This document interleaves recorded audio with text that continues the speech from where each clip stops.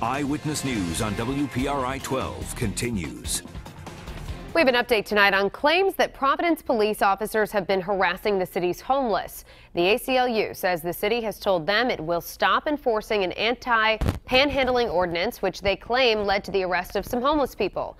We first reported on the ACLU's claims last month. At that time, the head of the police union told us they were not specifically targeting the homeless.